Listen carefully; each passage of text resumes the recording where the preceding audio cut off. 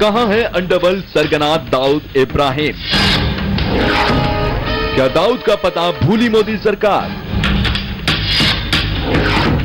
केंद्रीय गृह राज्य मंत्री हरिभाई चौधरी का बयान। दाऊद के ठिकाने का पता नहीं। नमस्कार वंदे मातरम में आपका स्वागत है। मैं हूँ मुकेश कुमार। और मैं हूँ अंजलि भंडारी। जी हाँ लोकसभा में बीजेपी के सांसद नित्यानंद राय के सवाल का जवाब देते हुए केंद्रीय गृह राज्य मंत्री हरिभाई चौधरी ने माना कि सरकार के पास मुंबई ब्लास्ट के मुख्य आरोपी दाऊद का पता नहीं है। सरकार ये नहीं जानती कि दाऊद पाकिस्तान में कराची के पौश एरिया क्लिफ्टन रोड पर रहते हैं। हालाँकि सरकार के दूसरे राज्य मंत्री किरेन रिजिजू ने बात को संभालते हुए सरकार के अपने पुराने स्टैंड पर कायम रहने की बात कही है।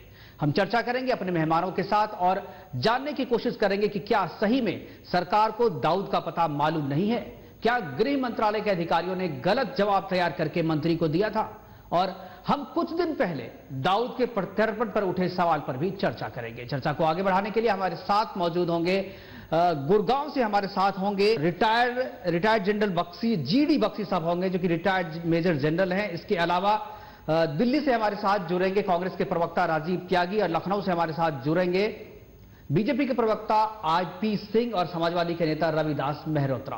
तो करते हैं कार्यक्रम की शुरुआत। डॉन को पकड़ना मुश्किल ही नहीं, नामुमकिन है।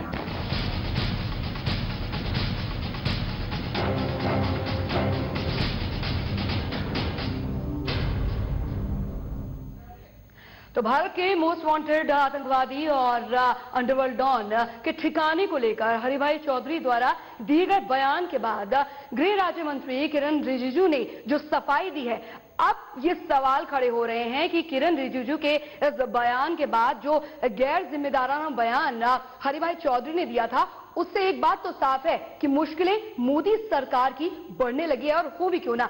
सवाल मोदी सरकार पर खड़े कर रहा है विपक्ष। पेशक रिपोर्ट।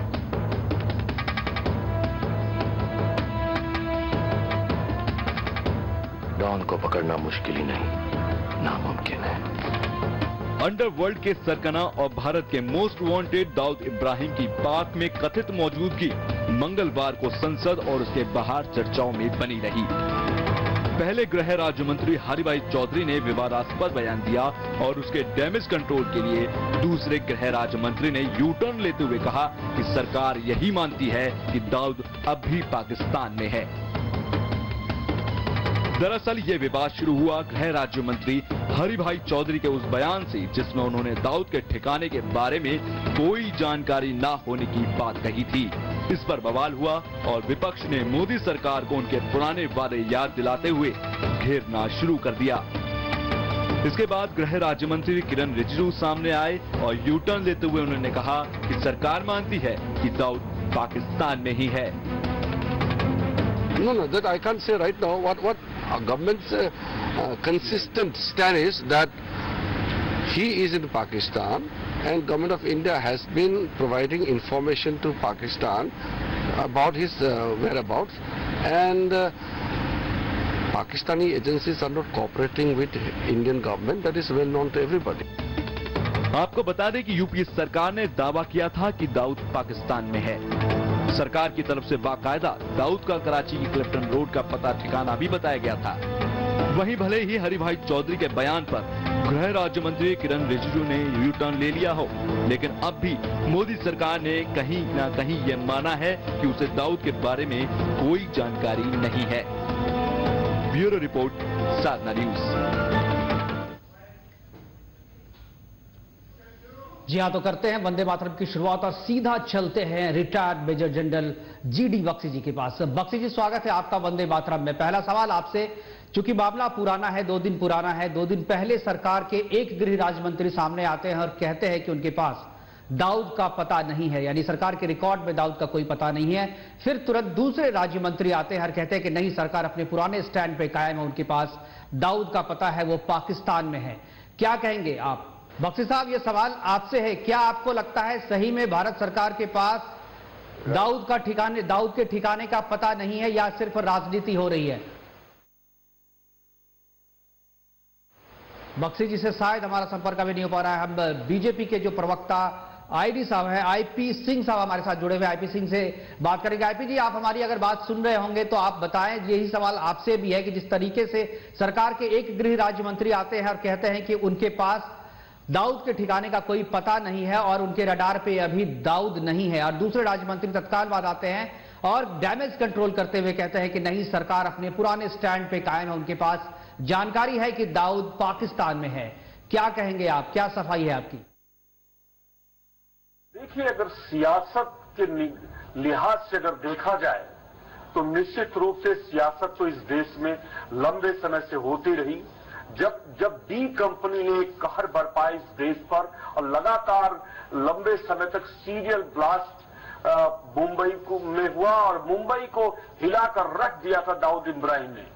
शायद इतना बड़ा कुख्यात आतंकवादी जिसकी तलाश लंबे समय से भारत की जो बड़ी एजेंसियाँ, चाहे सीबीआई हो, चाहे रॉ हो या इंटेलिजेंस ब्यूरो हो या यहाँ की जितनी साहब आपको मैं बीच में रोकना चाहूँगा। हमारे साथ major general retired GD Bakshi साहब जुड़े हुए हैं गुड़गांव से हमारे साथ जुड़े हुए हैं। बख्शी साहब स्वागत है वंदे मातरम में आपका। बख्शी साहब आपसे पहला सवाल है कि जिस तरीके से सरकार दाऊद के ठिकाने को लेकर के अभी तक असमंजस की स्थिति में है एक गृह राज्य मंत्री कहते हैं कि वो पाकिस्तान में है और दूसरा कहता है कि पता नहीं कहाँ पे है सरकार के रिकॉर्ड में नहीं है। क्या कहेंगे आप? राजनीति हो रही है या सही में कोई कूटनीतिक चाल है दोनों बयानों के बीच में? देखिए सबसे पहले तो मेरे हिसाब से एक सुरक्षा विशेषज्ञ के हिसाब से जो अ, जो अ, जो दाऊद है वो हमारा सबसे बड़ा दुश्मन है पाकिस्तान में। ये ऑपरेशनल इंटेलिजेंस का मामला होना चाहिए। मेरी समझ से में हमारी खुफिया एजेंसीज की प्राइम टारगेट होनी चाहिए वो और उसके बारे में हमें ज़्यादा बातचीत नहीं करनी चाहिए केवल अपना काम करके दिखा देना चाहिए। बिल्कुल। कि वो ये यहाँ है हमने इसके पास गुहार लगाई है हमने यहाँ पे रोना रोया है हम आज अमेरिका के पास गए हैं आज हम पाकिस्तान की अदालतों के सामने अपनी नाक रगड़ रहे हैं। ये क्या बेहुदा बात है साहब? ये बहुत बड़ा देश है बहुत ताकतवर देश है हमको ऐसे जो ऐसे विषयों के बारे में बातचीत नहीं करनी चाहिए। अब एक्शन का टाइम आया है। क्या क्या एक्शन होना चाहिए? बख्शी साहब। से देख रहे थे कि मोदी सरकार आ गई है। जी। जी। बख्शी साहब जिस तरीके से मुजाद एक्शन करता है सीधे पाकिस्तान में जाकर के क्या उसी तरीके का एक्शन भारतीय सरकार को भी करना चाहिए भारत की मिलिट्री को भी करना चाहिए? सीधा अगर दाऊद के ठिकाने का आपको पता है तो आप सीधा जाइए और वहाँ पे वार कीजिए, या तो पकड़ के ले आइए, या वहीं पे धाराशाही कर दीजिए। क्या इस तरीके की बात करना चाह रहे हैं आप? बेशक। अमेरिका ने क्या किया वहाँ पे? उन्होंने क्या पाकिस्तान की अदालतों में गुहार लगाई थी ओसामा बिन लाडेन के लिए? उन्होंने सीधे जाके पता लगाया ओसामा बिन लादेन कहाँ है। पता चला कि पाकिस्तान की मिलिट्री एकेडमी काकुल से 800 गज दूर, उसे पाकिस्तान की फौज ने वहाँ छुपा के रखा हुआ है। वो सीधे अपने अपने वहाँ पे मरीन कमांडोज भेजे वो सील्स को भेजा और वहाँ उसको खत्म कर दिया। क्या क्या लगता है आप ये है एक महाशक्ति का की परिभाषा और महाशक्ति की कार्रवाई। बिल्कुल। तो बख्शी साहब क्या लगता है आपको जो मोदी सरकार चुनाव से पहले जिस तरीके से कह रही थी कि तत्काल चुनाव सरकार यदि उनकी बन गई तो तत्काल वो कार्रवाई करेंगे और दाऊद को लाएँगे यहाँ पे अब स्थिति वैसी राजनीतिक बन नहीं रही है। शायद यह कूटनीतिक तरीका हो मोदी सरकार के एक राज्य मंत्री आके कहे, जो ठिकाने का पता नहीं है, दूसरा आकर के पुराने स्टैंड पे कायम रह जाए। क्या मोदी सरकार अभी कार्रवाई करने, पाकिस्तान के भीतर जाकर के जो दाऊद है, उसके खिलाफ कार्रवाई करने से बचना चाहती है? शायद इस तरीके का बयान इसीलिए दिलवाया गया है।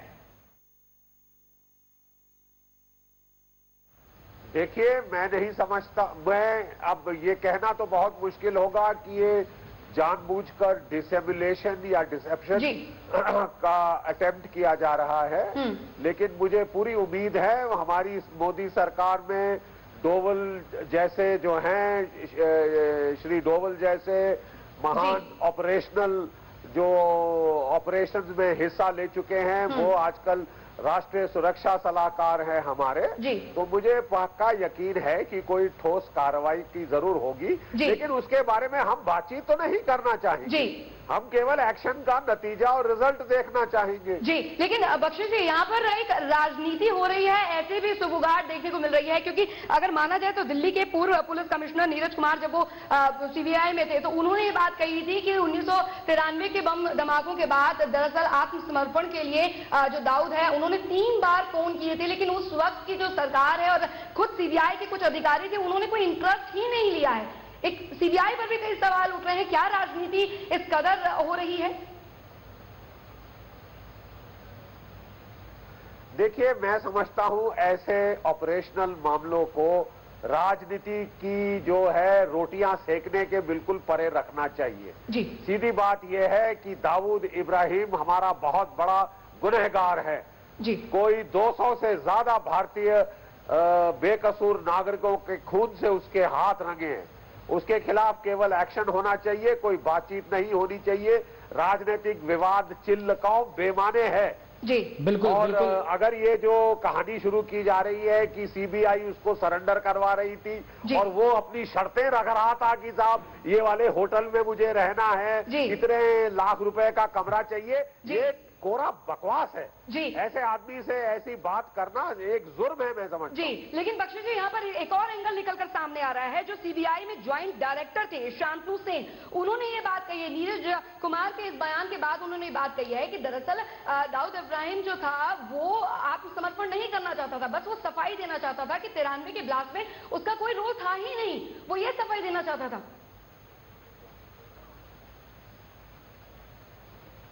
जी। देखिए वो आत्मसमर्पण का तो केवल ढकोसला रच रहा था। जी। वो बेवजह की शर्तें रख रहा था कि मेरे खिलाफ सारे केस विड्रॉ किए जाएँ।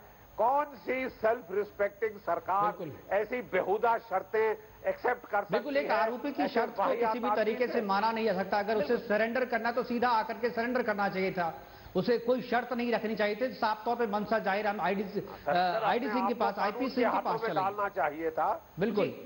हम आईपी सिंह जो बीजेपी के प्रवक्ता हमारे साथ जुड़े हुए हैं उनके साथ चल उनके पास चलेंगे लखनऊ। जी आईपी सिंह जी बताएँ क्या कहना चाह रहे हैं आप इस पूरे मुद्दे को? अभी सुन रहे हैं जीडी बख्शी साहब को भी आप सुन रहे थे। क्या आपका क्या कहना है? श्री त्यागी जी को मैं, दिलीप त्यागी जी को मैं सुन रहा था और उनके सुझाव थे कि जिस प्रकार सील कमांडो अमेरिका से चलकर आते हैं और पाकिस्तान के अंदर ऑपरेशन करते हैं और ओसामा बिन लेदेन को मार देते हैं। एक बात समझनी होगी कि अमेरिका और पाकिस्तान के दोनों के रिश्तों को ध्यान देने की ज़रूरत है। मैं समझता हूँ कि अमेरिका लगातार पाकिस्तान की मदद करता रहा है और भारत और पाकिस्तान के जो रिश्ते हैं, वो बहुत ही तेज रहता है दोनों के रिश्तों में। और आज भारत के साथ साथ पाकिस्तान भी न्यूक्लियर स्टेट है और जब भी भारत कोई कार्रवाई करता है तो साफ़ साफ़ दुनिया में जाकर पाकिस्तान कहता है कि भारत के खिलाफ मैं न्यूक्लियर आर्म सप्लाई कर सकता हूँ। अगर मुझे लगातार भारत दबाव देगा, अनुचित दबाव देगा तो मैं इस प्रकार की ब्लैकमेलिंग नहीं, ये तो पाकिस्तान करता है। आईपी सिंह साहब आईपी सिंह साहब ये तो ये तो जब पाकिस्तान पाकिस्तान अंतर्राष्ट्रीय मंच पर जब ये कह रहा है आईपी आईपी सिंह साहब आईपी सिंह साहब आपसे आपत्ति है यहाँ पे क्योंकि भारत ने जो 20 मोस्ट वांटेड आतंकवादियों की लिस्ट जब सौंपी थी पाकिस्तान को तो पाकिस्तान उसके दूसरे नंबर पे दाऊद इब्राहिम का नाम था और पाकिस्तान ये अंतर्राष्ट्रीय रूप से, सार्वजनिक रूप से कहता है, वो भी आतंकवादी मानता है इसको।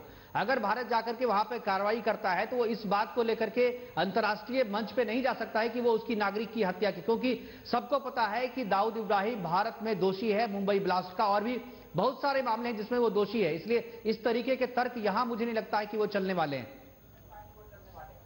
नहीं यहाँ तर्क और वितर्क का विषय नहीं है। ये सर्वविदित है कि जब दुबई पर बहुत दबाव बना और गल्फ को छोड़कर दाऊद इब्राहिम ने अपना सेंटर कराची के सुरक्षित स्थानों में जहाँ आर्मी का बहुत बड़ा बेस है। और ऐसे दो दो स्थान है जहाँ छुप कर अपना चेहरा बदलकर अपना नाम बदलकर और उसके साथ सबसे मज़बूत बात खड़ी होती है कि वहाँ की जो पाकिस्तान की इंटर इंटेलिजेंस सर्विसेज़ है आईएसआई वो उसको उसको मदद करती है उसको भारत के खिलाफ लगातार। आईएसआई काम करती रहती है। इस नाते कहीं न कहीं पाकिस्तान का झुकाव उसके प्रति रहता उसकी इंपायर दुनिया में बहुत बड़ी है आर्थिक रूप से वो पाकिस्तान को मदद करता है।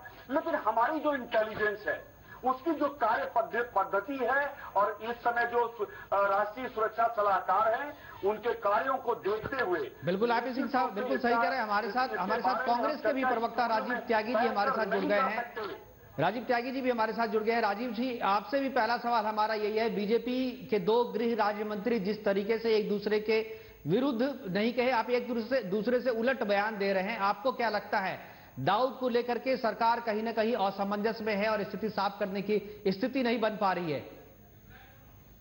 देखिए, कुल मिलाकर के जो अवस्था है इस वक्त सरकार की, मुझे नहीं लगता कि सरकार कहीं केंद्र में है और सरकार नाम की कोई चीज़ केंद्र में चल रही है। जिस तरह से मोदी सरकार कार्य कर रही है दाऊद के मामले पे, और मैं भारतीय जनता पार्टी के अपने मित्र को सुन रहा था अभी तो वो वितर्क, कुतर्क और वितांडवाद करने का काम कर रहे हैं और स्वयं ही अपनी पीठ थपथपा रहे हैं स्वयं ही अपनी कॉपी जाँच रहे हैं स्वयं ही अपने पत्र लगा रहे हैं। तो ऐसा ना करें। देखिए आपके प्रधानमंत्री महोदय ने विशेष रूप से भारतीय जनता पार्टी के लीडर नरेंद्र मोदी जी ने 27 अप्रैल 2014 को एक इंटरव्यू में कहा था क्या दाऊद को पकड़ने के लिए किसी प्रेस वाले को बताने की ज़रूरत पड़ेगी? क्या दाऊद को पकड़ने के लिए ऑपरेशन नहीं चलाए जा सकते? तो एक व्यंग सा उन्होंने किया था मेरा कहना यह है कि जहाँ भी राष्ट्रीय सुरक्षा के मसले हों, राजनीतिक पार्टी के लोगों को उस पर बहुत ही संजीदा बयान देने चाहिए। उसको राजनीतिक हितों में इस्तेमाल नहीं करना चाहिए। जिस तरह से मोदी जी ने मोदी जी ने मेरी बात सुन लीजिए प्लीज़ देखिए तो। मोदी जी ने जिस तरह से ये बातें कही थी जब लोगों को लगा था कि शायद वो ऑपरेशन और टाइप कुछ करेंगे। लेकिन अब जो है अब ये स्थिति है कि मोदी जी एक टाइम तो हीमन की तरह काम कर रहे थे के बारे में पूरा मिक्की माउस बन गए हैं है चिंता विषय नंबर एक आईपी सिंह साहब एक बार त्यागी जी को बोल देने दीजिए उसके बाद आप इंटरफेयर कीजिएगा। आईपी सिंह साहब एक बार इस तरह से बोल करके मेरी आवाज़ दबा नहीं पाएँगे और शायद इनसे बढ़िया आवाज़ मेरे पास है बुलंद आवाज़ है और बुलंद कंटेंट्स में दे रहा हूँ व्यूअर्स पे आपके। उधर से राजनाथ सिंह साहब और हम जल्दी उसको कहना उसका जी जी सिंह जी सुन लेते हैं। राजीव त्यागी जी कह रहे हैं कुछ फिर आपकी आपकी राय ले लेंगे उनको मेरा बहुत पता ही नहीं है। तो ये चिंता का विषय है कि सरकार जो है दिग्भ्रमित है सरकार को कुछ पता नहीं है और सरकार जिस तरह से कार्य कर रही है इसका मतलब एक हुआ कि राष्ट्रीय सुरक्षा के मुद्दों को जिस तरह से भारतीय जनता पार्टी में ने चुनाव में कैश किया शहीदों की शहादत का जिस तरह से उन्होंने चुनाव में कैश किया तो ये चिंता का विषय भारतीय राजनीति के लिए। मैं मोदी जी से कहना चाहूँगा कि कृपया अपने बड़ बोलेपन से बाज आए और देश को ये वास्तविकता बताएँ कि दाऊद है कहाँ और दाऊद पे भारतीय जनता पार्टी का क्या एक्शन प्लान है। बिल्कुल आईपी सिंह जी, बिल्कुल। आईपी सिंह जी, आप क्या कहेंगे इस पर? करेगी कि हमारा एक्शन प्लान क्या है। हम कैसे एक आतंकवादी को जो मोस्ट वांटेड है दुनिया का उसके खिलाफ कैसे कार्रवाई करेंगे?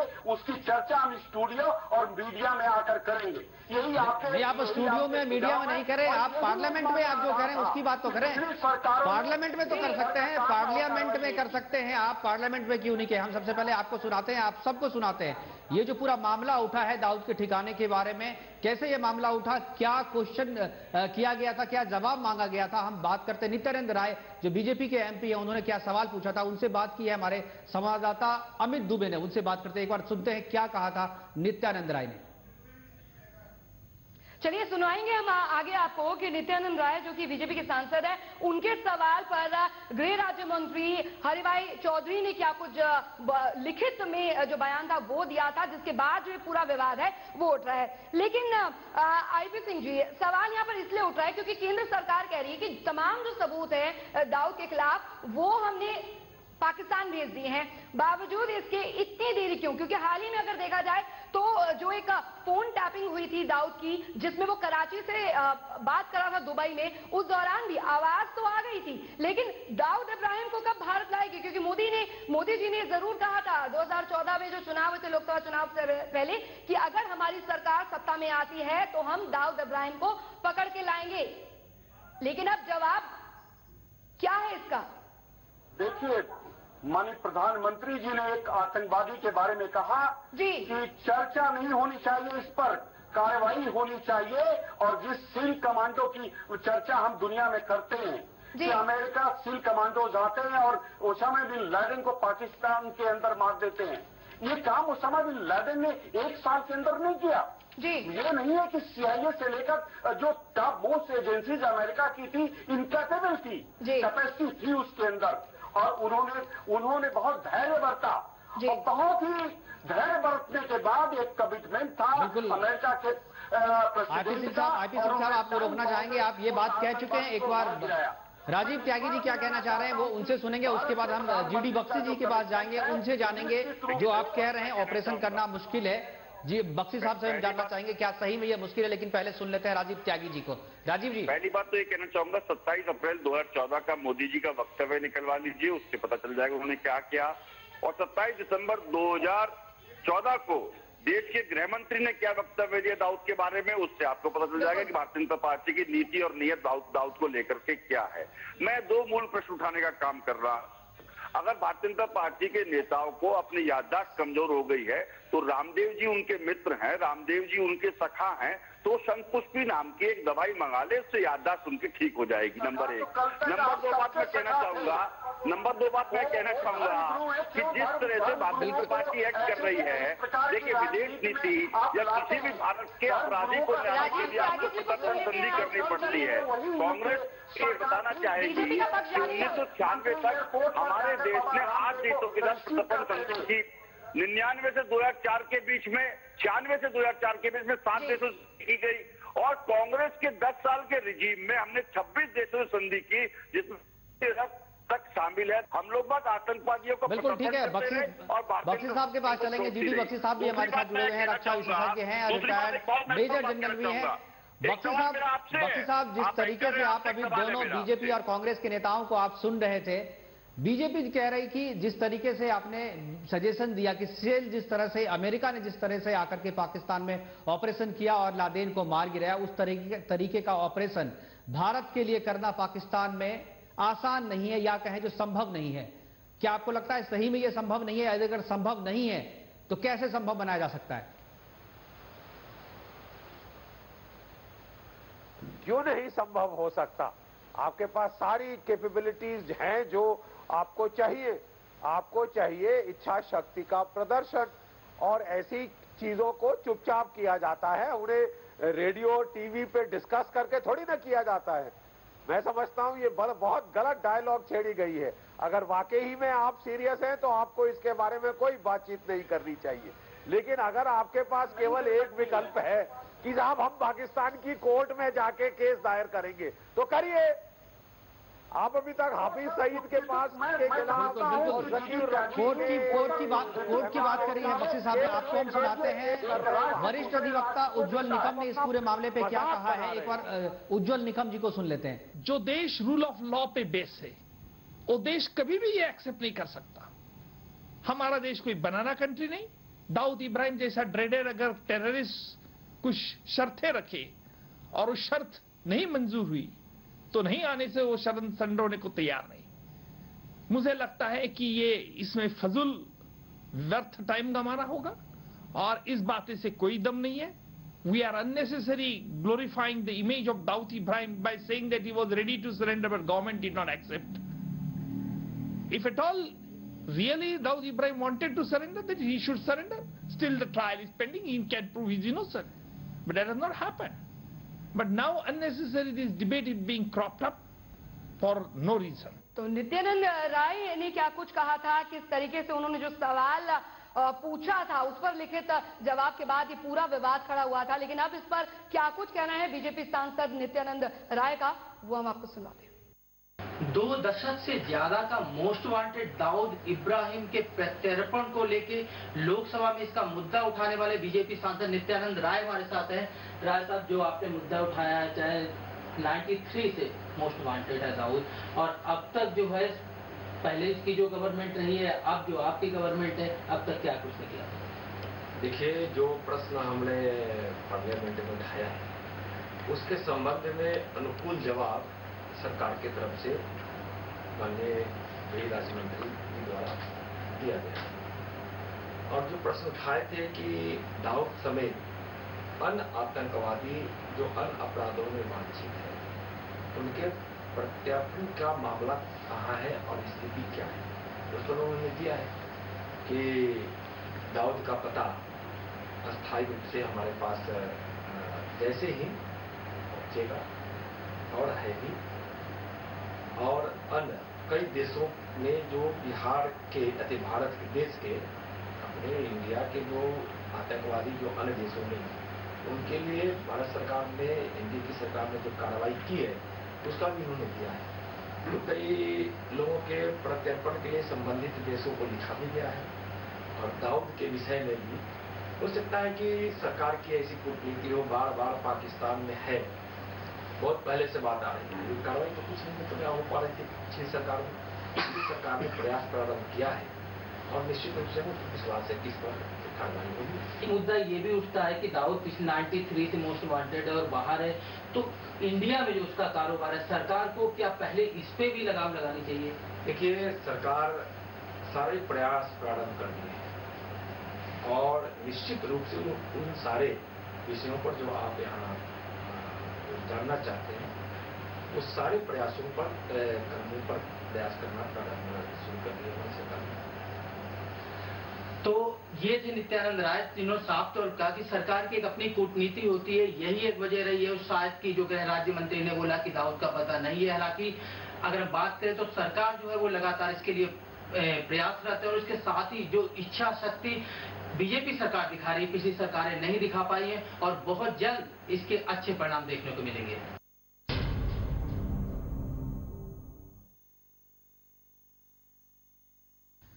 तो ये थे नित्यानंद राय साहब जो कि कह रहे थे कि उन्होंने जो सवाल किया था संसद में, उसका माकूल जवाब मिल गया, लेकिन जवाब के बाद से एक जो फिर दूसरा जवाब आया है, उसकी बात इन्होंने नहीं की। हम जीडी बख्शी साहब के पास जाएँगे। बख्शी साहब, जिस तरीके से आप बता रहे थे कि अगर इच्छा शक्ति हो सरकार में तो इस ऑपरेशन को अंजाम दिया जा सकता है। क्या आपको लगता है इच्छा शक्ति की कमी पिछले सरकार में भी थी और इस सरकार में भी है? सिर्फ़ राजनीतिक फ़ायदे और चुनाव जीतने मात्र के लिए जो है, दाऊद का इस्तेमाल भारत में भी हो रहा है और पाकिस्तान में भी हो रहा है। पाकिस्तान भी दाऊद का कूटनीतिक इस्तेमाल करता है, अपने यहाँ पेइंग गेस्ट बना के रखा हुआ है और भारत में भी उसका कूटनीतिक इस्तेमाल ही हो रहा है। ऐसा लगता है कि दोनों देशों में जिस तरह के राजनीतिक हालात हैं, उससे दाऊद का भारत में आना या उसका प्रत्यर्पण करना राजनीतिक रूप से बहुत ही मुश्किल है। देखिए, मुश्किल तो है, लेकिन किया जा सकता है, बशर्ते कि हम एक देश के तौर पे फैसला कर लें कि हमें ये करना है। और अगर आपको ये करना है तो मेरा सुझाव है कि ऐसे ऑपरेशन चुपचाप किए जाते हैं। चिल्ला चिल्ला कर शोर मचाकर। नहीं किए जाते ताकि दूसरा आदमी अच्छी तरह छुप जाए अच्छी तरह काउंटर मेजर्स ले अगर हमारे देश में बड़ी अनफॉर्चुनेट बात यह है कि हम दुनिया को ये दर्शा रहे हैं कि पाकिस्तान के खिलाफ एकमात्र विकल्प हमारे पास है वो है रोना या तो अमेरिका की गुहार लगाते रहे रोते रहे या पाकिस्तान की अदालतों में जाके सप्लिकेंट्स की तरह रोते रहे। जी। तो फिर आप डिस्कशन कर सकते हैं जितनी मर्ज़ी आप चाहें। लेकिन अगर आप सीरियस हैं तो आप इस पे चुप रहेंगे। आप केवल बिल्कुल बख्शी साहब आपके इस सवाल का जवाब हम दोनों नेताओं से भी लेंगे लेकिन एक आखिरी सवाल आपसे हम ये भी जानना चाहेंगे क्या भारत या भारत की सेना कभी इस तरीके के ऑपरेशन को अंजाम दिया है आप लोगों ने? देखिए हमारे पास स्पेशल फोर्सेस हैं। जो ट्रेंड हैं जो 24 घंटे इसी के लिए ट्रेडिंग कर रहे हैं। आपकी और भी खुफिया एजेंसीज हैं जिनके पास खुफिया कैपेबिलिटीज हैं। अगर आप फैसला बना लें कि आप इसे करना चाहते हैं और इसे लॉजिकल कंक्लूजन तक ले जाना चाहते हैं तो आप कर सकते हैं। ऐसी चीज़ का जब फैसला लिया जाता है तो चुप्पी और शांति रखी जाती है। जी। चिल्लकाव नहीं की जाती आवाज़ नहीं की जाती। चुपचाप से जो करना है वो कर दीजिए। जी, बख्शी जी, एक आखिरी सवाल मैं भी पूछना चाहूँगी आपसे, क्योंकि जिस ठाट के साथ दाऊद इब्राहिम पाकिस्तान में रह रहा है, हालाँकि पाकिस्तान का साफ़ साफ़ कहना है कि हिंदुस्तान की तरफ़ से कोई भी सबूत नहीं उन्हें सौंपे गए हालाँकि हिंदुस्तान लगातार कह रहा है, सरकार कह रही है कि हमने सारे सबूत सौंप दिए। लेकिन कितना सच माना जाए कि पाकिस्तान में जो संरक्षण मिल रहा है दाऊद इब्राहिम को, वो दरअसल पाकिस्तानी खुफिया एजेंसी आईएसआई की तरफ़ से मिल रहा है? तभी इतनी ठाट है उसकी वहाँ पर। देखिए ये सारे आईएसआई के मोहरे हैं। ये पूरी लश्कर तैयबा ये पूरी हिजबुल मुजाहिदीन ये सब आईएसआई का पैसा खाते हैं। आईएसआई से हथियार बारूद गोला बारूद इन्हें मिलता है ट्रेनिंग मिलती है और आईएसआई ही इनको इंडक्ट करती है हमारे वहाँ। वो क्यों इनके खिलाफ एक्शन लेंगे? ये तो एक मज़ाक बना रखा है हमारी सरकार ने अपना। कि हम यहाँ इनके खिलाफ कानूनी कार्रवाई पाकिस्तान से करवाएँगे। अरे पाकिस्तान ने तो इनको भेजा आपको मारने के लिए। बिल्कुल, यही- कार्रवाई बिल्कुल, बख्शी जी, करेंगे? शायद यही वजह है कि जल्दी आप ये कहानी बंद करें। ये लोरी सुनाना बच्चों को बंद करें जी। और अपना काम करें। बिल्कुल, और फ़ोन की जो बातचीत अभी सामने आई थी, जिसमें कराची से दुबई में जो बातचीत हो रही थी दाऊद के बीच, और ये बात भी साफ़ है कि जिस तरीके से दाऊद ने अपनी बेटी की शादी भी खुलेआम की थी कहीं भी जो पुलिस है, जो इंटरपोल है, वो तक नहीं पकड़ पाई थी। अंदाज़ा लगाना यहाँ पर अपने आप में है कि कितने खुले में और कितनी ठाट के साथ दाऊद इब्राहिम घूम रहा है, चाहे वो फिर पाकिस्तान हो, चाहे फिर वो दुबई हो। क्योंकि वो दाऊद ये खुद कह रहा है उस बातचीत में कि मैं ही यहाँ का प्रधानमंत्री हूँ और मेरे बिना मेरे बोले पत्ता भी नहीं हिलता। ये बातचीत जो फ़ोन पर उसने बातचीत की थी खुलकर उसने ये बात सामने आई थी। अरे साहब वो तो ठाट बाट में रह रहा है। सबसे टॉप फैमिलीज़ जो पाकिस्तान की है उनके साथ उसका रिश्ता बेटी का नाता है। शरेआम धूमधाम से बैंड बाजे से वो बेटी की शादी कर रहा है और हम लोग यहाँ कह रहे हैं कि हमें पता नहीं। तो राजीव बख्शी साहब राजीव बख्शी साहब इसके बारे में अगर अ, राजीव त्यागी जी हमारे साथ कांग्रेस के तो कांग्रेस के प्रवक्ता है। हैं बंद करिए काम राजीव जी राजीव जी आपसे भी सवाल है जिस तरीके से बख्शी साहब कह रहे हैं कि वो ठाट से वहाँ पे रह रहे हैं और पता किसी, ऐसा नहीं, किसी को नहीं है। कांग्रेस के शासनकाल में भी लोगों को पता था और आपके शासनकाल में ही बताया गया था कि भाई दाऊद इब्राहिम पाकिस्तान में है, कराची में है, उसका पता भी बताया गया था। बावजूद इसके, आप लोगों की तरफ़ से ना तो यूपीए की सरकार की जब थी यहाँ पे, तब कुछ उस तरीके के बात हुई जो उसका प्रत्यर्पण किया जाए। ना ही अब एनडीए की सरकार अब आई है तो हो रहा है। क्या लगता है कि आप दोनों मिलकर के एक दूसरे पे आरोप प्रत्यारोप कर रहे हैं लेकिन सही में अगर उसको लाना है यहाँ पर या वहाँ पर जिस तरह से बख्शी साहब कह रहे थे कि वहाँ ऑपरेशन मिलिट्री ऑपरेशन होना चाहिए और उसको पाकिस्तान में जाकर के ही खत्म करना चाहिए इस ऑप्शन पे क्या सरकार ने कभी सोचा है? देखिए आपने सवाल पूछने में मुझे करीब करीब डेढ़ मिनट लगाया है तो मैं उम्मीद करूँगा कम से कम एक मिनट लगातार बोलने का बिल्कुल आप दो मिनट बोलिए। तो देखिए, आपने दो तीन सवाल मुझसे पूछे हैं। कांग्रेस पार्टी ने क्या किया, क्या नहीं किया, उसके विषय में मैं आपको बता चुका हूँ कि हमने 26 देशों के साथ 10 साल में प्रत्यर्पण संधि की। अबू सलेम से लेकर के अब्दुल करीम टूडा जैसे आतंकवादियों को हम लोग बाग देश में लेकर के आए। हम लोग अजर मसूद को भी लेके आए थे जिनको कंधार भारतीय जनता पार्टी की सरकार छोड़ के आई थी। मसरत आलम को हमने 10 साल लगातार जेल में रखा जिनको कश्मीर में उन्होंने छोड़ने का काम किया। मैं एक प्रश्न आपने जो अभी बहुत अच्छी बात कही कि आईएसआई का एजेंट है दाऊद और आईएसआई कश्मीर में डिस्टर्बेंस करना चाहती है तो कहीं ना कहीं दाऊद का हाथ पाकिस्तानी झंडे जो फहराए जा रहे हैं आज भारतीय जनता पार्टी की सरकार आने के बाद और गिरानी खुलेआम पाकिस्तान जिंदाबाद के नारे लगा रहे हैं तो उस पर निश्चित रूप से पाकिस्तान भारतीय जनता पार्टी को जवाब तो देना होगा, मोदी जी को जवाब तो देना होगा, एक तो ये विषय हुआ।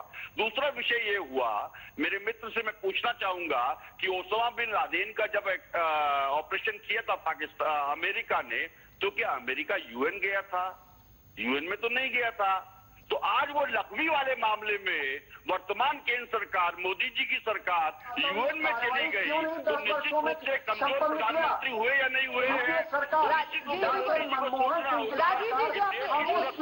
जी जो आपने को प्रश्न पूछा है उसका जवाब हम की के काम राजीव जी को अपनी बात पूरी करने दीजिए पहले। राजीव जी अपनी बात पूरी कीजिए। देखिए भारतीय जनता पार्टी की दिक्कत आरती सिंह साहब आपको सुनेंगे। आरती सिंह साहब आपको सुनेंगे पहले आप जरा राजीव जी को बोलने दीजिए। फिर आप उसका जवाब दीजिएगा। चाहूँगा आज मसरत आलम को जिस तरह से बिरयानी खिलाई इन्होंने और गिलानी को जिस तरह से कश्मीर में बिरयानी खिला रहे हैं ये तो निश्चित रूप से अतिथि देवो भव की पार्टी निभाने का काम कर रही है आतंकवादियों के मामले में। बिल्कुल राजीव जी आईपी सिंह जी से हम जवाब ले लेते हैं। सिंह जी सवाल सवाल मुनासिब है क्योंकि लखवी के मामले में भी खाने के और बिल्कुल। के और है। राजीव जी बिल्कुल राजीव जी हम जवाब ले लेते हैं। राजीव जी हम जवाब ले लेते हैं। आईपी सिंह जी लखवी के मामले में भी केंद्र सरकार ने यही बात बोली थी कि हमने पूरे जो सबूत हैं वो हमने पाकिस्तान को दिए फिर भी उसे जमानत मिली। तो क्या दाऊद के मामले में भी ऐसा हो सकता है? मोदी जी के बराक कहते हैं यूएस प्रेसिडेंट को वो तो बराक का मामले आ रहे हैं कुछ। मुंबई लहूलुहान हुआ। जो मुंबई लहूलुहान हुआ उसके उसका रिप्रकशन में अरे मुंबई पाकिस्तान आप दोनों को रोकना चाहेंगे? इस बीच हमारे साथ एक दर्शक भी जुड़ गए हैं। इस बीच आप आप आप दोनों को रोकना चाहेंगे? इस बीच हमारे साथ एक दर्शक जुड़ गए हैं और दर्शक भी अपनी बात रखना चाह रहे हैं इस मुद्दे पे। जी बताएँ क्या कहना चाह रहे हैं आप? हाँ विनोद जी बताएँ। मुंबई ब्लास्ट हुए आज। बाईस तेईस साल गुजर चुके हैं लेकिन उसका मास्टरमाइंड दाऊद इब्राहिम आज तक शिकंजे में नहीं आया है। भारत सरकार बार बार उसको कब्जे में लाने की बात करती है, लेकिन आज तक असफल रही है।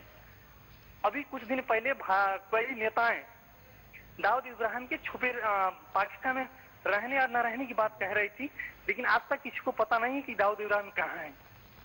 ये बहुत दुखद घटना है और जल्द से जल्द भारत सरकार को, दाऊद इब्राहिम को भारत में लाके उसको देनी चाहिए। बिल्कुल, और इस वक्त हमारे साथ सीबीआई के पूर्व निदेशक जोगिंदर सिंह जी भी जुड़ गए हैं। बहुत बहुत स्वागत है जोगिंदर सिंह जी, आपका वंदे मातरम में जोगिंदर सिंह जी, जिस तरीके से दाऊद इब्राहिम का जो मुद्दा है, वो उठा है। बात अगर सीबीआई के रोल की इस पूरे मामले में की जाए तो दिल्ली के पूर्व पुलिस कमिश्नर नीरज कुमार जो उस वक्त सीबीआई में डीआईजी के पद पर थे, उन्होंने ये बात कही थी कि जब वो उस पद पे थे तो फिर तिरानवे के ब्लास्ट के बाद दाऊद इब्राहिम का फ़ोन आया था उन्हें कि वो आत्मसमर्पण करना चाहते लेकिन उस दौरान सीबीआई के कुछ अधिकारियों ने इस पर कोई ध्यान ही नहीं दिया, कोई दिलचस्पी ही नहीं दिखाई।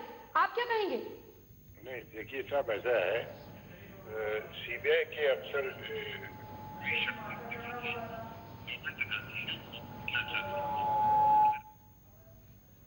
जी। जोगिंदर सिंह जी माफ़ कीजिएगा आपकी आवाज़ हम तक नहीं पहुँच पा रही है। आपसे फिर हम संपर्क करने की कोशिश करेंगे। और अब सुनते हैं अभिषेक मनु सिंह भी जो कि कांग्रेस के प्रवक्ता है। उनका क्या कहना है इस पूरे मसले पे? एक बार अभिषेक मनु सिंह भी को भी सुन लेते हैं। मैं आपके दाऊद इब्राहिम जी को पकड़ नहीं पाए हैं ला नहीं पाए हैं एक्शन नहीं ले पाए। लेकिन ये कहना कि श्री दाऊद इब्राहिम जी कहाँ है हमको मालूम नहीं है। ये तो मजाकिया बात नहीं है। वैसे मतलब देश का पूरा देश जानता है कि सबसे सर्वोच्च क्रिमिनल श्रेणी में इसमें दाऊद इब्राहिम आते हैं। और अगर आप नहीं जानते हैं ये तो सरकार का बहुत निकम्मापन होगा और बहुत ही हैरानी की बात होगी कि आप नहीं जानते हैं। आप पाकिस्तान में जानते हैं सब लोग साइटिंग हुई है, फ़ोटो जानते हैं क्लिफ्टन के एड्रेस मैं तक जानता हूँ, आप क्यों नहीं जानेंगे। और भी ऐसी कई साइटिंग्स हैं दुबई में है तो ये कहना तो मैं समझता हूँ, बहुत ही हमारी पूरी एक व्यापक लड़ाई है।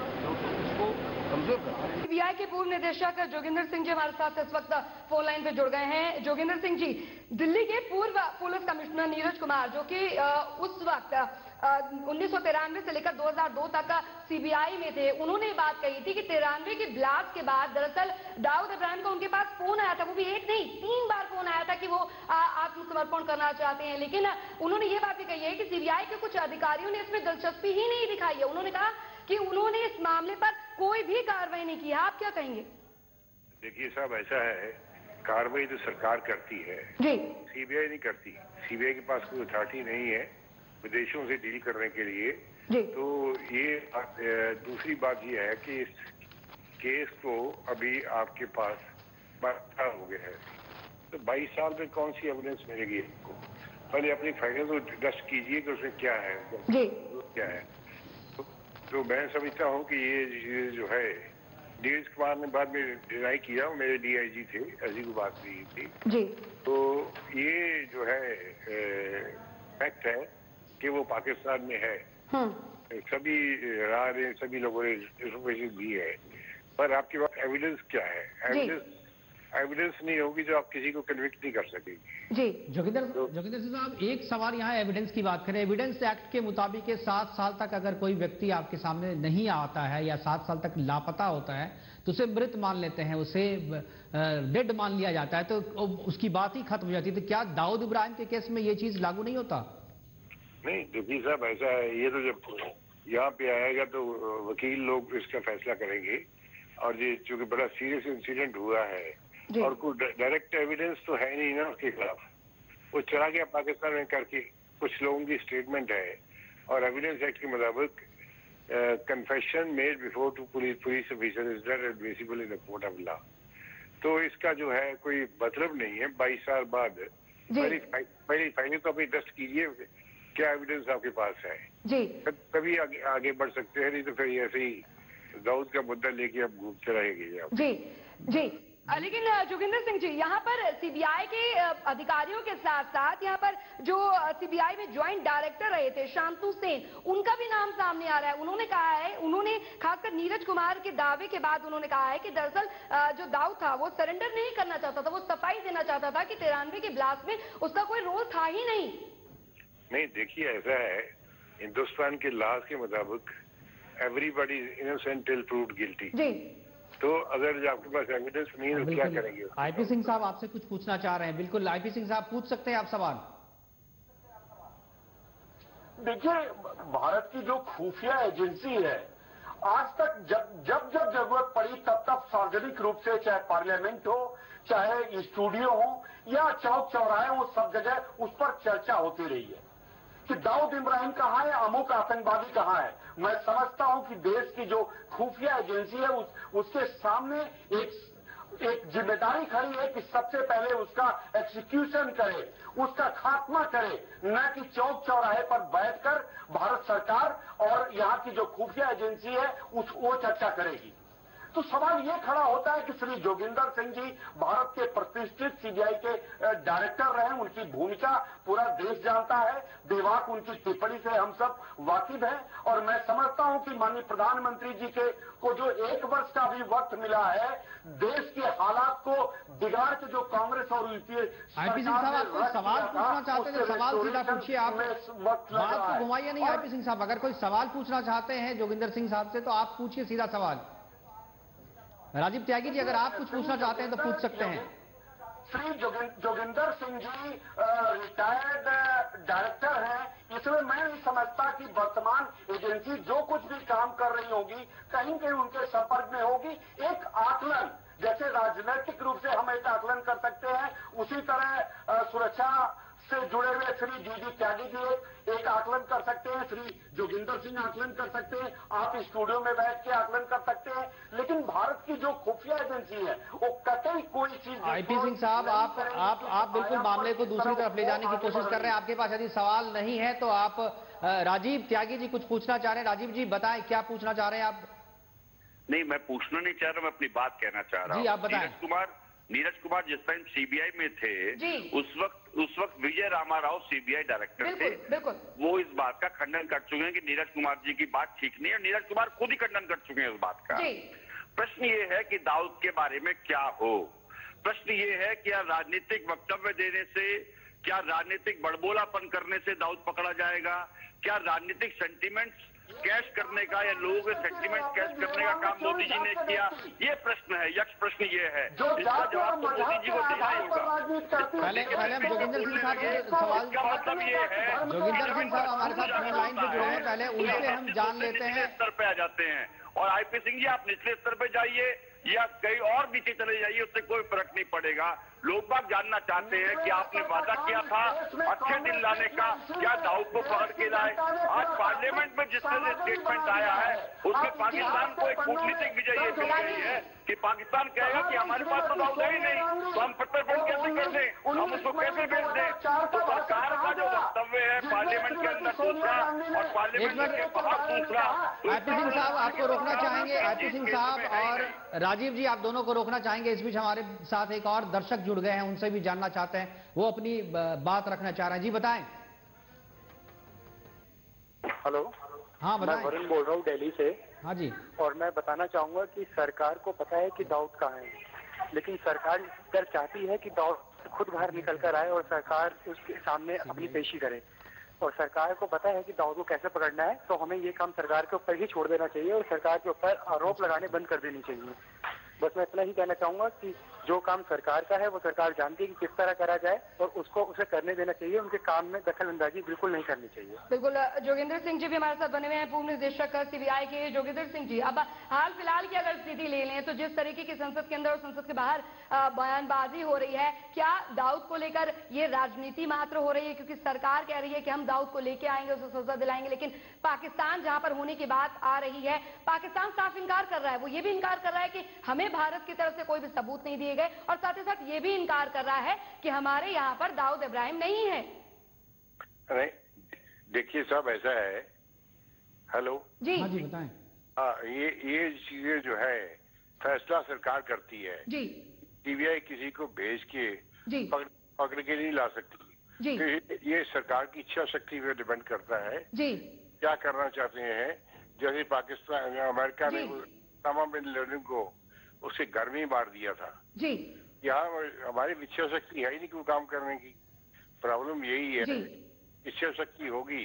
हम्म। कानून जब तक बदले नहीं जाएँगे तो ये चीज़ें चलती रहेंगी यार जी लेकिन जोगिंदर सिंह जी अगर बात की जाए कि जो बातचीत फ़ोन पर जो बातचीत दाऊद और जो कि कराची में बैठा था उस वक्त और दुबई में उसने बात की थी उस वक्त जो ये बातचीत सामने आई थी अंदाज़ा लगाया जा सकता है कि कितने खुलेआम जो दाऊद इब्राहिम है वो घूम रहा है अपनी लड़की की शादी वो दुबई में करवा रहा है। सारी जानकारी इंटरपोल को है लेकिन बावजूद इसके कोई कार्रवाई नहीं। उस बातचीत के सामने आने के बाद सर्विलांस से पता लगाया गया था कि वो कराची में ही स्थित है। उसके बाद भी कोई कार्रवाई नहीं। हाथ पर हाथ धरकर बैठे हुए नहीं ये आप जो कह रहे हैं ठीक है। ये तो सरकार को अपनी इच्छा शक्ति दिखानी चाहिए कि अगर किसी ने जुर्म किया तो उसको लाया जाए कैसे भी लाया जाए। जी। अब अब वो जो है अडवाणी साहब भी गए थे वहाँ पे पाकिस्तान में। किसी ने इनकी बात नहीं मानी। जी। तो ये ए, एक वीक वीक कंट्री के ये इंडिकेशन है कि हम अपनी इच्छा शक्ति इम्पोज नहीं कर सकते। जी। अगर अमेरिका जाके उसामा बिन लेडन को हम्म। खत्म कर सकता है जी। अफ़गानिस्तान में टेरिस को खत्म कर सकता है बिल्कुल। हिंदुस्तान में स्वाय मैं यही कहूँगा इच्छा शक्ति नहीं है करने के लिए। ये सभी अपना वक्त गुजारते हैं। जो भी पार्टी फिर से फिर से जी आप बिल्कुल चलिए शुक्रिया पूर्व निदेशक सीबीआई के हमारे साथ जोगेंद्र सिंह जी जुड़े हुए थे। राजीव जी सबसे पहले मैं आप, अब आपके पास भी आना चाहूँगी।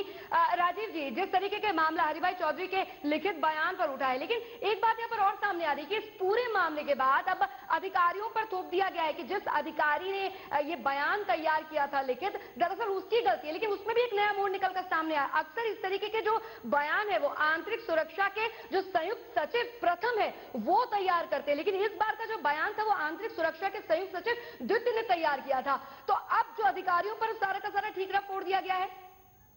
देखिए मैंने शुरू में कहा था कि सरकार नाम की चीज़ केंद्र में रहने गई है एक साल में ही। और सरकार की कलाई हर विषय पे खुलने लगी है। और निश्चित रूप से हर हर मामले पे सरकार यू टर्न कर रही है।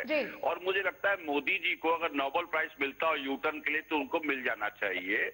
और लोगों के अच्छे दिन नहीं ला पा रहे हैं तो उनको देश की जनता से माफ़ी मांगनी चाहिए। मेरा अभी भी ये कहना कि जो राष्ट्रीय सुरक्षा के मसले हैं उन पे कोई राजनीति नहीं होनी चाहिए। उस पर कोई राजनीतिक वक्तव्य नहीं होने चाहिए। उस पर व्यंगात्मक भाषा इस्तेमाल नहीं करनी चाहिए। जिस तरह से जिस तरह से मोदी जी ने बिल्कुल आईपी सिंह साहब से भी पूछेंगे लेकिन इससे तो पहले हम कहना सुनते हैं चाहूँगा आप ही मोदी के जी नेता हैं काम गिरिजा करें अपने बड़बोलेपन से बाज आए अपने झूठ से बाज आए तभी जाकर के देश में वो कुछ लोगों के अच्छे दिन ला सकते हैं। अभी तो हम जनता हम जानेंगे हम ये बात भी पूछेंगे हम तो लोग आईपी सिंह साहब से ये बात पूछेंगे लेकिन इस बीच गिरिजा व्यास जी हमारे साथ जुड़ी हुई हैं। गिरिजा व्यास से बात की हमारी संवाददाता नीलम शुक्ला ने देखते हैं गिरिजा जी ने क्या कहा है।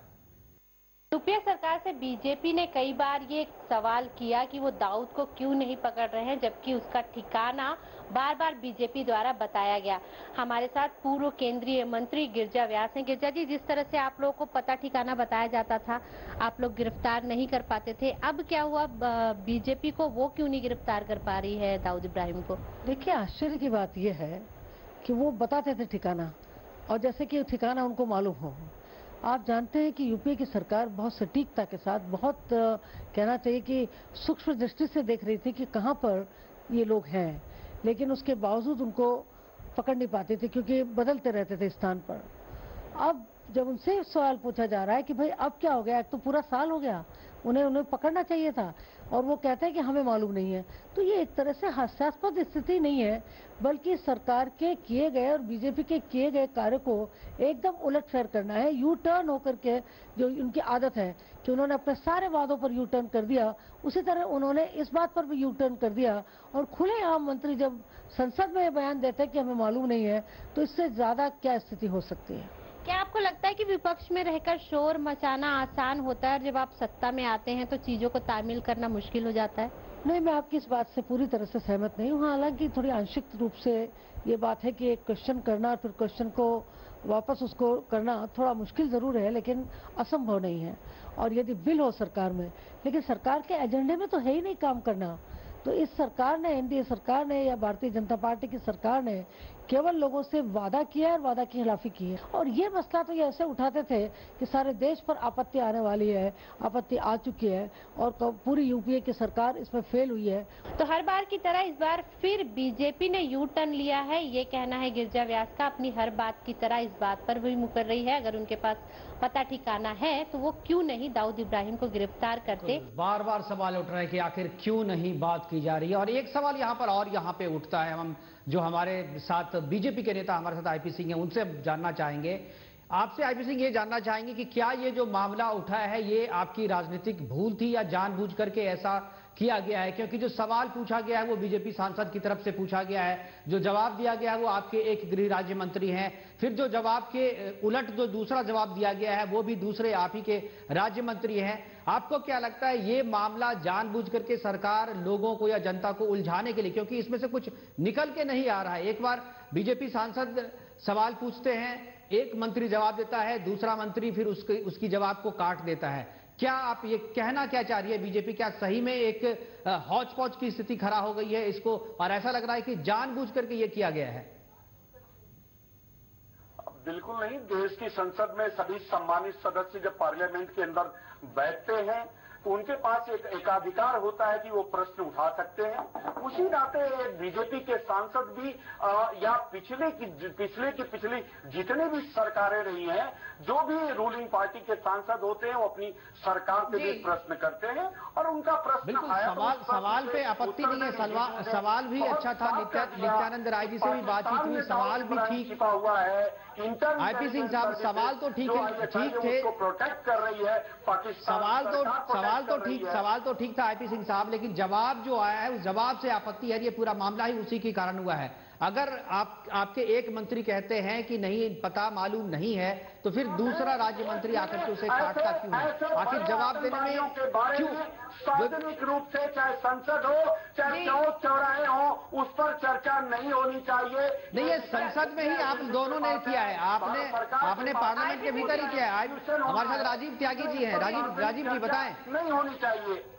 राजीव त्यागी जी कुछ बोलना चाह रहे हैं। जी राजीव जी बताएँ। कह रहे हैं कि किसी भी ऐसे विषय पे कोई चर्चा चैनल पे नहीं होनी चाहिए। मोदी जी ने चैनल को इंटरव्यू दिया था तो मोदी जी को पहले वो नसीहत दें कि इस तरह के इंटरव्यू आगे से ना दें। दूसरी बात मैं कहना चाहूँगा आईपी सिंह साहब के पास ना तो आपके प्रश्नों का जवाब है ना मेरे प्रश्नों का जवाब है क्योंकि झूठ बोलने वाले लोगों के पास जवाब नहीं हुआ करता। जो झूठ बोलते हैं बड़बोले होते हैं उनके पास सिर्फ़ एक ही बात होती है कि वो सर झुका के माफ़ी मांगे कि हाँ हमसे गलती हुई है। अगर वो गलती मानते हैं तो लोग बात क्षमा करते हैं इसमें कहीं कोई दो है तो तो जवाब नहीं है। सिर्फ़ ज़ोर से बोल करके अपनी बात को सच करना चाहते हैं जो चिंता का विषय है। लोकतंत्र इस तरह से नहीं चलता है। आईपी सिंह जी आईपी सिंह जी गलती गलती तो अधिकारियों की अभी पूरे विवाद के बाद बता दी गई है कि अधिकारियों की जवाब तैयार बेटी की सरकार चल रही है। उसी बाप बेटी की सरकार के साथ बैठ करके बिल्कुल राजीव जी हम बिरयानी खिलाने का काम मोदी जी कर रहे हैं। बिल्कुल समय की बेहद कमी है राजीव जी। हम आईपी सिंह जी से भी पूछ लेते हैं क्योंकि गलती यहाँ पर हुई है सरकार ने माना और कहा है कि अधिकारियों की गलती है जिन अधिकारियों ने इसे इस लिखित जवाब को तैयार किया था बीड़ा अधिकारियों पर फोड़ दिया गया है सारा का सारा ठीक रहा। जीवन में। बिल्कुल बिल्कुल हमारे साथ तस्वीर के एक और दर्शक जुड़ गए हैं उनकी उनकी बात सुन लेते हैं। आईपी सिंह साहब एक और दर्शक हमारे साथ जुड़ गए वो भी अपनी राय रखना चाह रहे हैं। जी बताएँ। मैं राज नोएडा से बोल रहा हूँ। मेरा ये कहना है कि दाऊद इब्राहिम पे जो सरकार का इतना नरम रुख है और सरकार ये कह रही है कि उसे ये तक नहीं पता कि दाऊद इब्राहिम कहाँ है। ये बहुत ही शर्मनाक बात है। जो सरकार चुनाव से पहले कहती थी कि दाऊद कहीं भी होगा पाकिस्तान में है हम उसे खींच कर लाएँगे लेकिन वो अपने वादे पे, पे कायम नहीं रही और मुकर गई। इससे साफ़ ज़ाहिर होता है कि सरकार बहुत ही नरम रुख अपना रही है। दाऊद रहीम को लेकर। आईपी सिंह जी जी, बिल्कुल। बीजेपी नेता आई पी सिंह जी हमारे साथ जुड़े हुए हैं। आई पी सिंह जी, अधिकारियों से गलती हुई है, ये पूरे विवाद के बाद निकलकर सामने आया कि जिस अधिकारी ने ये जो लिखित बयान तैयार किया था, दरअसल उसकी गलती है। गलती कहीं ना कहीं किसी ना किसी स्तर पर हुई है। मानते हैं आप? इसमें किसी प्रकार की कोई गलती नहीं हुई है। इसमें सार्वजनिक चर्चा नहीं होनी चाहिए। राष्ट्रीय सुरक्षा का विषय कहीं ना कहीं और राष्ट्रीय सुरक्षा पर तो गड़बड़ है। आखिर एक ही दिन में दो दो राज्य मंत्री को आकर के सफ़ाई देनी पड़ रही है और एक दूसरे के बयान को काटना पड़ रहा है। कहीं ना कहीं कोऑर्डिनेशन की तो गलती हमारे पास समय की कमी है। लेकिन हम अपने दर्शकों से अपील करना चाहेंगे कि हमारे टेलीविज़न स्क्रीन पे जो नंबर है व्हाट्सएप कर सकते हैं आप उस पर और V M at Sadhna dot com पर मेल के ज़रिए भी अपनी राय हमारे साथ हमारे भेज सकते हैं वंदे मातरम इस कार्यक्रम के बारे में और एसएमएस के ज़रिए भी अपनी राय हम तक पहुँचा सकते हैं आप। जी राजीव जी बिल्कुल राजीव जी हमारे साथ जुड़े हुए हैं। राजीव जी कोई गलती नहीं है। बीजेपी का ये कहना है कि हमसे कोई भी यहाँ पर गलती नहीं हुई है, लेकिन क्या ये कहना गलत नहीं होगा कि यहाँ पर क्या ये कहना यहाँ पर अब सही होगा कि गृह मंत्रालय में कहीं ना कहीं असमंजस की स्थिति बनी हुई है? गृह मंत्रालय में जो विभाग है, उस पर असमंजस की स्थिति बनी हुई है, क्योंकि एक ही सरकार के दो गृह राज्य मंत्री अलग अलग बयान दे रहे हैं। देखिए मोदी सरकार पूर्णतया झूठ का पिटारा और गलतियों का पिटारा हो चुकी है इसमें कहीं कोई संशय नहीं है। मैं ये कहना चाहूँगा एक बहुत महत्वपूर्ण सलाह देना चाहूँगा आईपी सिंह साहब को अगर संभव हो तो भाजपा के आला कमान को दे दे। कांग्रेस पार्टी प्रत्येक देशद्रोही को पकड़ने के लिए अगर सरकार कुछ करती है तो उनके साथ खड़ी है। कांग्रेस पार्टी ने मोदी सरकार के हाथ नहीं बाँध रखे हैं। कांग्रेस पार्टी ने मोदी सरकार को किसी भी चीज़ स्टैंड को लेने के लिए मना नहीं कर रखा है। बिल्कुल आप दोनों मेहमानों से आप दोनों मेहमानों से रिक्वेस्ट करेंगे हमारे पास समय की कमी है समय की कमी है। आखिरी आखिरी कमेंट एक एक करके आखिरी कमेंट चाहेंगे आप दोनों से समय की कमी है। मुझे अपने प्रोग्राम को आज आज के वंदे मातरम को यही खत्म करना पड़ रहा है। आखिरी में आखिरी में राजीव जी आखिरी में आपसे जानना चाहेंगे। हमारे पास हमारे पास समय की कमी है जिसके कारण आज हमें वंदे मातरम यही समाप्त करना पड़ रहा है। माफ़ी चाहूँगा लेकिन चुपते हुए सवाल पूछना जो है मेरी आदत है बिल्कुल। बिल्कुल आरोप प्रत्यारोप का जो दौर है वो रुकने वाला नहीं है थमने वाला नहीं है। आखिरी कमेंट आप दोनों से ही चाहेंगे प्लीज़ एक एक करके आप दे दीजिए। राजीव जी आप सबसे पहले आखिरी कमेंट दे दीजिए पुत्र को लेकर आइए। उसकी तैयारी करिए क्योंकि राहुल गांधी ने अड़तालीस साल की उम्र में आईपी सिंह साहब हम इसको भी बात करेंगे। अगले प्रोग्राम में हम उससे बात करेंगे। आपको जोड़ेंगे आप कभी बोल सकते हैं। अभी आपसे आखिरी कमेंट चाह रहे हैं अगर आप नहीं दे रहे लेकिन हमारे पास इशारा हो रहा है। हमारे पीसीआर से हमारे पास समय की काफ़ी कमी है।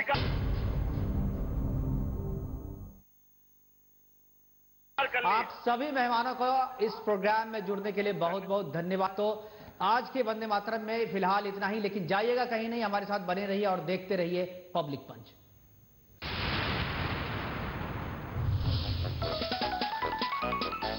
भाई, अम्मा, बापू, सभी को कानून के शिकंजे में फंसते देख मायावती ने अपने नाम से बहन हटाने की अर्जी दे दी है।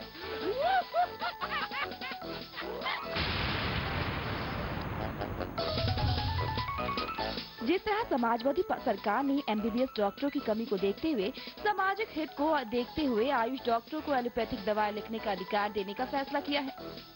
उनसे निवेदन है कि पायलटों की कमी को देखते हुए टैक्सी ड्राइवरों को भी हवाई जहाज़ उड़ा देने की अनुमति दे देनी चाहिए।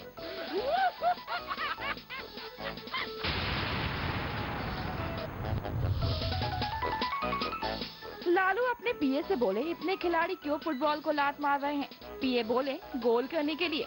लालू बोले, ससुरा, बाल तो पहले ही गोल है, और कितना गोल करेंगे?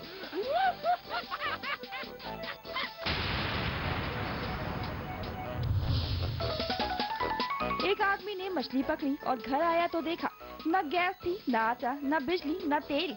आदमी वापस मछली को नदी में फेंक आया। नदी में जाते ही मछली चिल्लाई, कांग्रेस पार्टी जिंदाबाद जिंदाबाद।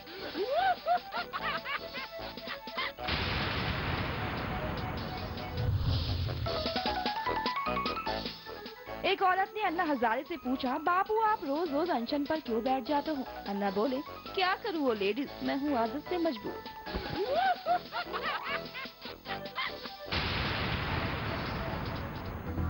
डॉन को पकड़ना मुश्किल ही नहीं, नामुमकिन है।